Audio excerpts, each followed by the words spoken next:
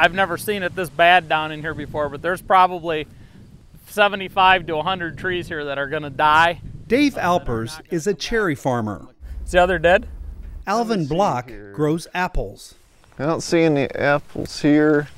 And Brian Cronenwet raises grapes. These are uh, the stage where the buds were when they froze, completely dried out. All three farmers grow different crops, but they all share one thing in common. None of them will make any money this year. You work all year to produce a crop of cherries, and you can lose a crop in one night. It can be frustrating at times. Well, you get paid once a year, so I, I work every day um, for that one payday. We will work all year long and not have an income. When a hurricane or tornado comes sweeping through town, everyone can see its aftermath.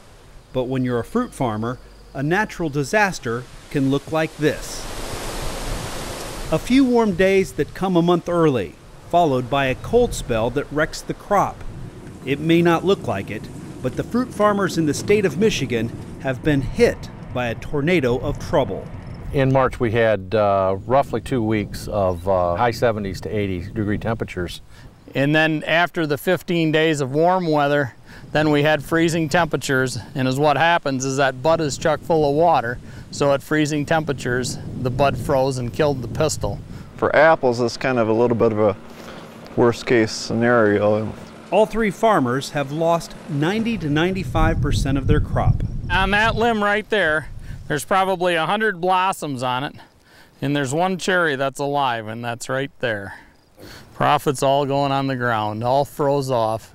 That's how it is with fruits. If you lose the crop, and then that's it until the next year. Yes, it may not look bad, but Michigan just lost $1 billion in crop damage.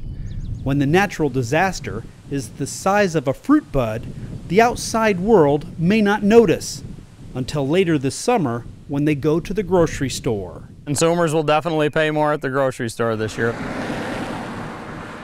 In Traverse City, Michigan, Scott Rensberger for the Weather Channel.